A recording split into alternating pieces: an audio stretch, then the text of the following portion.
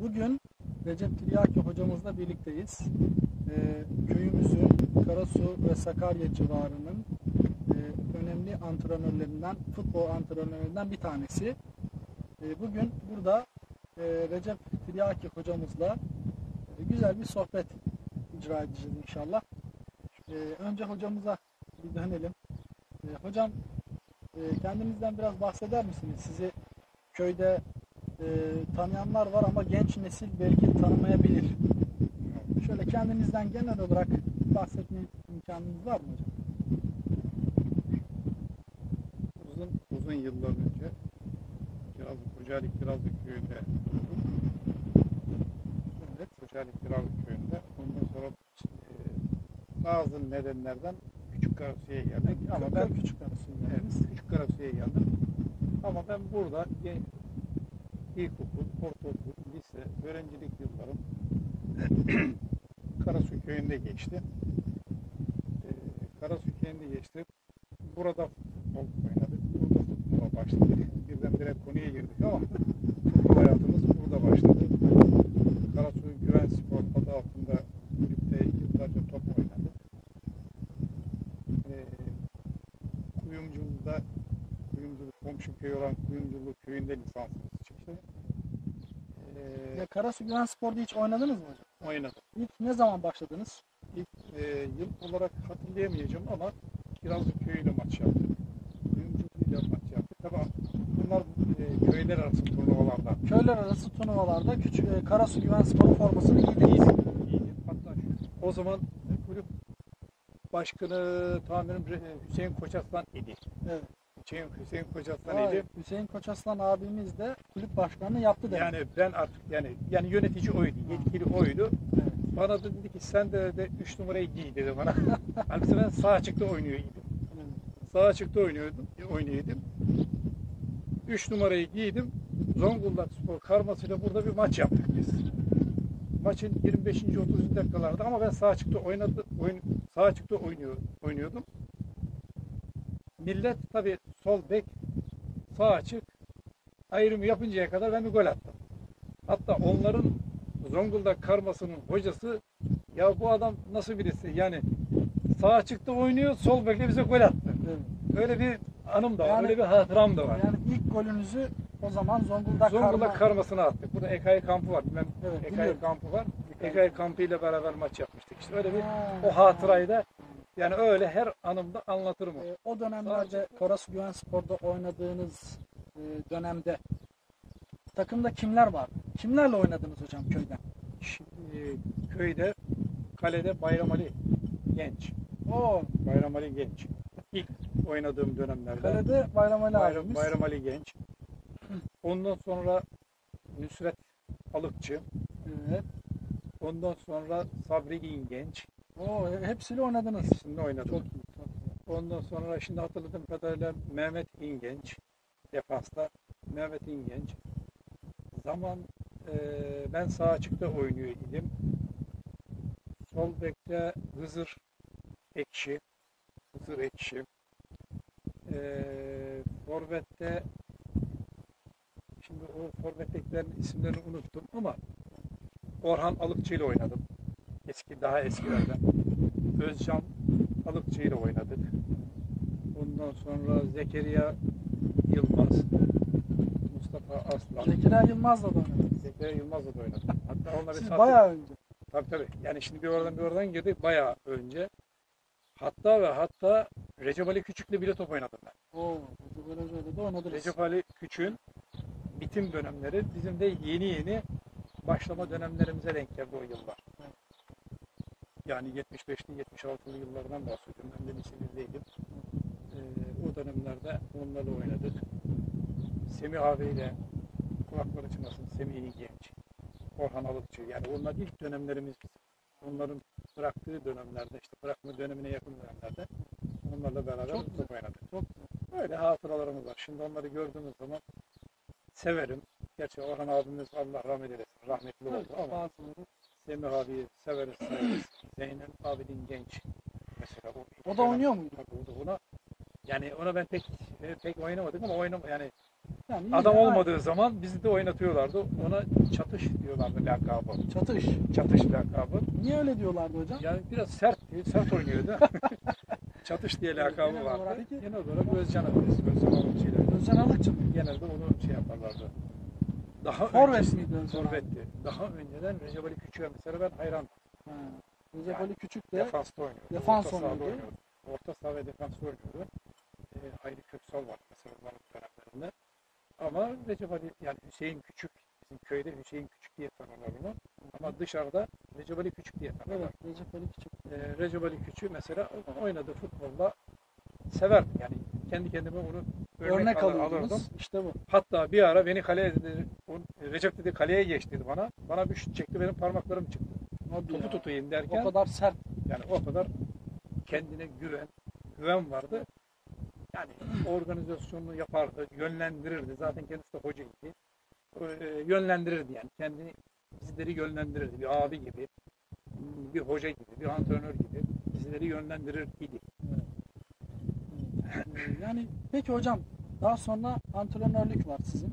Evet. Antrenörlük hevesi nereden geldi? İlk nasıl başladınız? Biraz ondan bahseder misiniz? Antrenörlük biliyorsun ben kamuda çalışmaktayım. Hala da kamuda devam etmekteyim. Ee, 1994 yılının Mayıs ayı gibi amatör futbol oynadığımızdan dolayı böyle bir hakkımız doğdu bizim. Ee, bizim kulakları çınlasın Tamer İlaçan hocam da böyle bir mevzu oldu futbolla ilgili. Ee, onun bürosuyla bizim maliye yan yana altlı üstlüydü.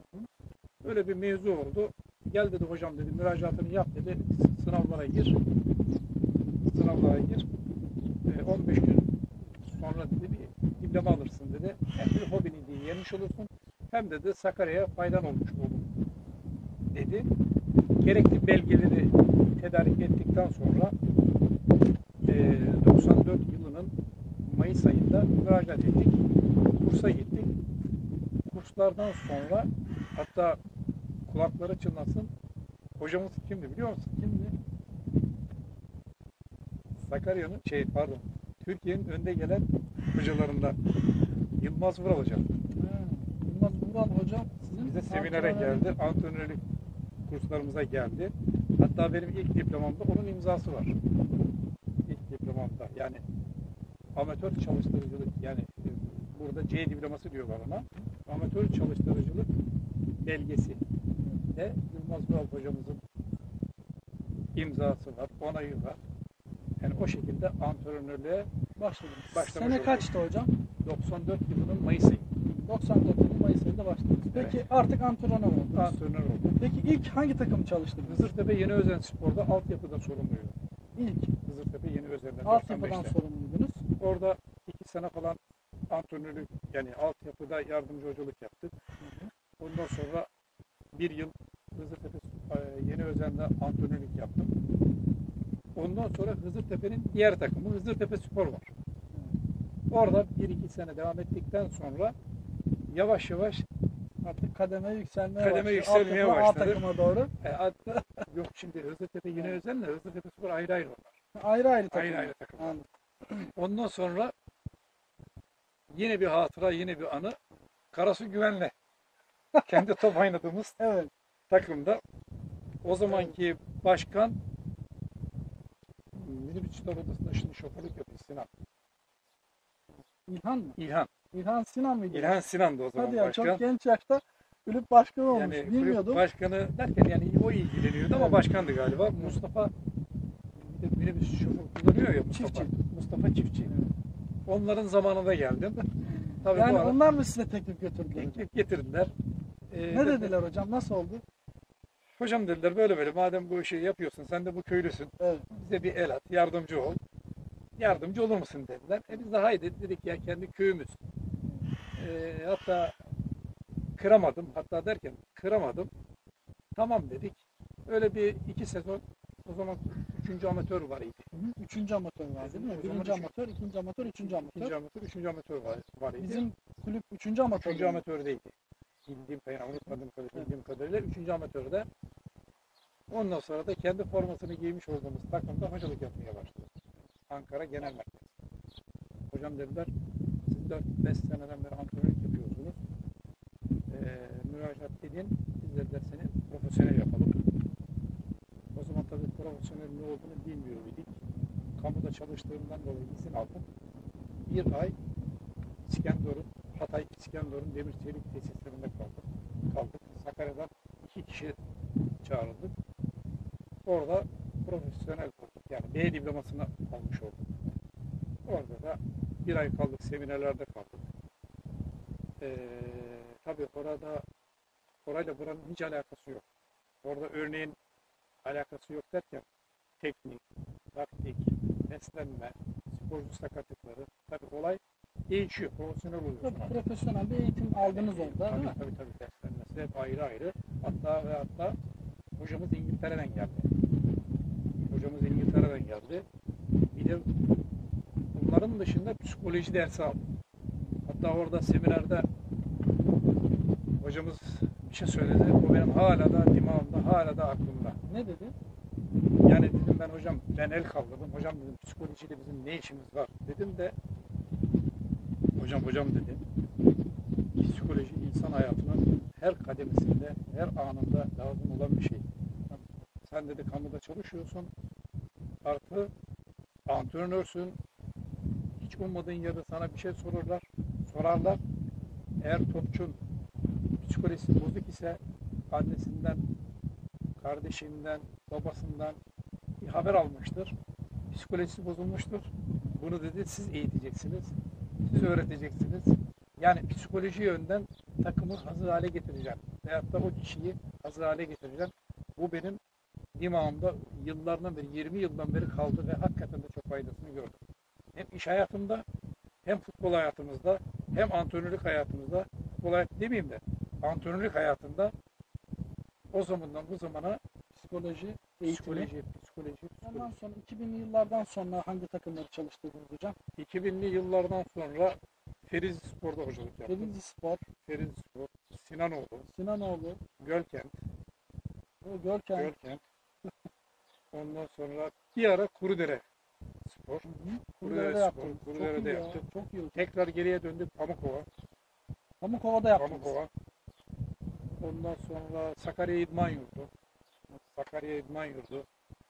Şimdi aklımda olan yine Karasu Güven, Karasu Güven. İşte esas bizim yani e, benim esas parlak dönemim yine burada geçti. Burada mı geçti? Karasu Güven'de geçti. Karasu Güven'de geçti. Nasıl oldu hocam? O dönem anlatır mısınız? Şimdi gerçekten o da anlatırken insan heyecan duymamak Hadi ya. gerçekten söylüyorum babam babam da benim öğrencimdi o yıllarda. Yani İskenderun'a gidip gelmemizin faydasını ben burada teyit ediyorum. Tabii Yani başarı geldi. Futbolcular da iyiydi o zaman. Futbolcular da iyi de yani Yükselme oldu mu peki mesela ikinci amatörden birinci amatör küme, küme falan? birinci amatörde yani üçüncü amatör birinci amatördeydik.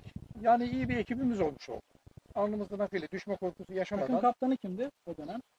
takım kaptanı boy boy Gökhan kaptanlık yaptı. Gökhan İngenç. Gökhan İngenç. Kaleci Gökhan kaptanlık yaptı. Ha, aynen hatırladım. Hatta basından Ramazan Marmara kalecimiz idi. evet hatırladım. Ondan sonra takım kaptanı Selim Kır takım kaptanımız idi. Selim Kır. Ondan sonra yani iyi bir ekibimiz vardı. Oynadığımız, oynadığımız futboldan zevk alıyorduk. Bütün Sakarya'da da öyle oldu. Sakarya'da da bayağı bir Karasu Güven isim yaptı.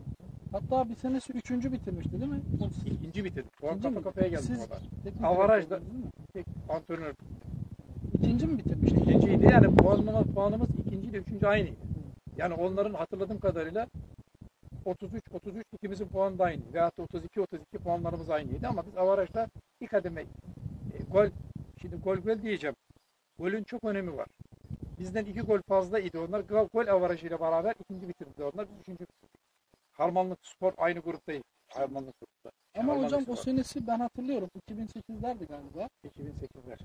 2007 2008 o dönemde harbiden iyi futbol oynuyordu yani. Bizim e, biz burada e, futbol sahasında oynanıyordu maçlar. Karasu e, Güven Spor futbol Evet, sahasında. O zaman tabii yaşı küçüktüm ben ama e, gerçekten güçlü bir takımdı ve futbol güzel bir futbol oynadı. Herkes Karasu'dan gelip burada maç izliyor. Maçımızı seyretmeye geliyoruz. Kocaeli'den maçımızı seyretmeye geliyoruz. Civar köylerden Karasu Güven maçını seyretmeye geliyorlardı. o dönemde futbolcuların iyi olması, yine sizin de takımda bulunmanız, bu hepsi birleşince güzel bir ekip ortaya çıkardı. Evet. Antrenmanları şimdi böyle söyledikleriniz öyle. Antrenmanları bilinçli bir şekilde yüklemeni, yüklemeyi antrenmanları bilinçli yaparsan başarı geliyor. Başarı geliyor. Hocam peki e, Karasu Köyü hakkında ya da Güven Spor hakkında böyle kısaca özetle ne söylemek istersiniz? Yani Karasu siz de buralısınız zaten. Burada da e, hem futbol oynadınız, hem yaşadınız, hem de antrenörlük yaptınız. Yani kısaca böyle Karasu Köyü ve Karasu Güven Spor hakkında ne demek istersiniz? Burayı nasıl buluyorsunuz? Karasu Güven Spor benim hatıralarımın canlandığı yer. Karasu Güven Spor sizin hatıralarınızın canlandığı yer. İnşallah bunu böyle güzelce yazarız şeye, internete de. Hatıralarımın canlandığı yer. Gerçekten formayı isteyerek, severek giydim, ve giyme, giymekten de şeref duyduğum bir forma. Peki bunu dışarıda da anlatıyor musunuz bu şey? Anlatıyorum. Ben mesela yıllarca Pendik'te futbol oynadım. Pendik, Pendik'te futbol oynadım. Kaynarca Spor'da top oynadım. Kaynarca Spor. Pendik Kaynarca. Ha, Pendik Kaynarca. Pendik Kaynarca'da. Yani bunu anlatmak. Çünkü benim yerim burası, yurdum burası ve hala da da görev verilirse takımda sürüyorum. Yalnız geçen sene biraz bir önceki sene eee çağrılmadık. O da yöneticilerin saygı sevgisine bağlı. Olur. Çok olabilir hocam. olabilir.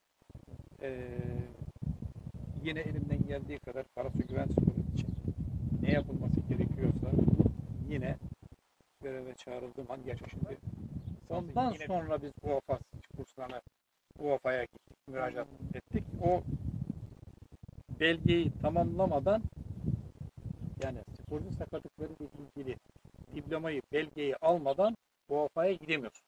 UEFA kursuna gidemiyorsun. Aldınız. Sonra UEFA kupa Aldık. şey UEFA Belgeyi aldım. belgesi. belgeyi aldım. Ondan sonra müracaat ettik. Baktılar UEFA'da sporcu sakatlıkları ile ilgili de belgesi var. Tamam dediler şartları taşıyor. Müracaat ettik. 2012'de Allah nasip kısmet etti bize. UEFA B'yi de almış Şimdi olduk. Siz konuyu açtınız. Şu an ben eee, bir tane ikinci ligden profesyonel takım yani. İkinci ligden bir takımla görüşmekteyim. Artı üçüncü ligden de bir takım var. Şart da uygun sürerse Anadolu'da. Anadolu'ya açılmaya niyetim var. Çünkü UEFA'yı aldıktan sonra olaylar biraz daha farklı oldu. Ee, ikinci ligden İzmir'de Bal Ligi'nde bir takımla görüşüyoruz. Görüşüyorum yani haber bekliyorum şu an. O pandemi olayından dolayı bayağı bir durdu. Durdu ama irtibata geçildi. İç Anadolu'da bir takım ikinci ligde. O da Sakaryaspor'un grubunda. Grubunda gerçi küme düşüyorlar ama dedim düşün ondan sonra dedim görüşelim. düşün dedim Evet, ondan sonra dedim görüşelim. Yani şimdi düşen takımın hocası olmak istemedim. Yani hemen çağırdılar onları. Yani ünlü teknik adamlarla falan muhabbetiniz nasıl? var. Biraz Diyalogumuz- onlardan bahsetmenizi diyalog- istiyorum. Var, diyaloglarımız var. Görüştüğümüz an, e, hoca arkadaşlarımız var, abilerimiz var. Mesela kimlerle hocam? E, Coşkun Demirbakan'la iyi görüşürüm. E, Sakarya'nın şu anki hocası Şaban Yıldırım hocayla merhabamız var. Görüşürüz. Zaten Sakaryaspor'la Şaban Yıldırım artık böyle özdeş hale geldi yıllardan beri. Süper Lig'e çıktığı zaman da Şaban Yıldırım çıkarmıştı değil mi? O dönem Şaban Ee, hocamız. da, Şaban Hoca yine e, takımın teknik direktörü. Şimdi hocam şimdi köyde sizinle böyle röport yani konuşacağımızı bir program yapacağımızı birkaç kişiye söylemiştim. Ee, on, e, evet Ancelotti mi? Ancelotti Ancelotti. demişlerdi yani. İtalyan yakıştırması. Evet. Ancelotti. Ancelotti ha evet Ancelotti falan. Herkes ya söylüyorum sizi Recep diyorum Tiryaki diyorum. O kim ya falan Recep Recep Tiryaki o derken ha Ancelotti Ancelotti deyince bütün ha tamam falan. Yani Ancelotti diyorlar size. Peki sadece küçük arasında mı Ancelotti diyorlar? Başka yerde Ancelotti diyorlar mı size? Yani Pendik'te de top oynadım dedim ya. Orada da evet, orada da bayağı şey yaparlar, bahsederler. Ancelotti mi diyorlardı? Ee, Ancelotti diyorlar ama ben şimdi pek biz onların biz onların tırnağı olamayız diyeceğim Tabii. ama Olsun yani, Yani bu da güzel öyle, bir öyle, şey. öyle, Niye öyle. peki Ancelotti diyorlar hocam? şimdi futbolda madem konuyu buraya getirdin futbolda bilinçli bir iş. Bilinçli olman lazım. O zamanlar gençliğinde vermiş olduğu bazı nedenlerden dolayı yönlendirme yaparken birden böyle agresif hare- hareketler, sert hareketler, işte şurada dur, hata yapma gibi. O zaman da Dünya Kupası'ndan da Ancelotti e, orada da Dünya Kupası'ndan da esinlenerek ona benzetmişler. Teşekkür ederim. Yani benzetmelerinden tabii dolayı. Yani Ancelotti o zaman dünya çapında bir teknik Dünya adam. çapında Siz de tabii size de Yani benim tabii aklımda öyle bir şey yok. Benim aklımda öyle bir şey yok da. evet evet. e, organizasyon yapılırken hani işte yerinde dur, şu bindirmeyi yap, işte orta sahayı tut, forvet şöyle. Yani takım organizasyonu yapılırken sert olduğumuzdan dolayı evet. o şekilde öyle bir İtalyan teknik adam. İtalyan Peki diye lakabını e, taktılar. Ancelotti adını size küçük Karasu'da mı taktılar yoksa başka yerde mi? Burada genelde ağırlık olarak burada. burada, söylüyorlar ama tabii Karasu'da da olsun, Kocaeli'de de olsun. Yani bunu duyanlar Yayılmış öyle yani. yayılmış. Yani o şekilde öyle yayılmış. Ancelotti, Ancelotti, Ancelotti diye. E tabii yani onun da ismini yaşatmış olduk. Evet. E, Güzel bir şey. Yani hatıra yani. Bu da bir e, na- nasıl söyleyeyim iyi bir hatıra diyeyim artık. Hatıra Evet. olarak Güzel. Çok öyle güzel. bir hatıramız olmuş oldu. Çünkü ben köyde biraz araştırma yaptım. Birkaç abimize sordum. Ee, sizin isminizi söyledim. O kim ya falan. Sonra "Aa, Ancelotti mi ha? Tamam falan. Herkes sizi öyle biliyor. Bu da güzel bir şey. Benim de hoşuma gitti. Dedim özellikle bir soracağım dedim. Yani. Babama da sordum. Ee, işte şöyle yap böyle yap yönlendirmeyi saha içerisinde sık sık yaptığından dolayı biraz agresiflik de var. Yani öyle bir geldi. Biz de şimdi burada maçlarda, antrenmanlarda çocuklar bunu eee, uygun görmüşler, takmışlar. Ben de Güzel. bir daha bozuntuya vermedim. Aşağı yukarı ama Evet. teşekkür ederim. Yani bu yıl uzun bir süreden beri bu kelimeyi pek bilmiyorlardı. Sen gündeme getirmiş oldun. Teşekkür ederim size de. Hocam çok teşekkür ediyoruz. Ben Ee, teşekkür güzel- ederim. Güzel bir program oldu. Ee, anılarınızı, hikayelerinizi, yaşanmışlıklarınızı ve tecrübelerinizi burada aktardınız. Ee, biz bunu internetten paylaşacağız. İnsanlar da bu güzel muhabbetten, sohbetten faydalanacaklar. Çok teşekkür ediyoruz. faydalı olabildiysek ne mutlu. Sizin de ayaklarınıza sağlık, ellerinize, gönlünüze sağlık. Teşekkür ederim. Ee, yine bir Karasu Güven Spor taraftarı olarak artık şimdi taraftayız diyelim. Herkese sevgi ve selamlarımı iletmek isterim. Onlara da başarılar dilerim. Sağ olun hocam. Biz de size başarılar diliyoruz. Onlara da başarılar.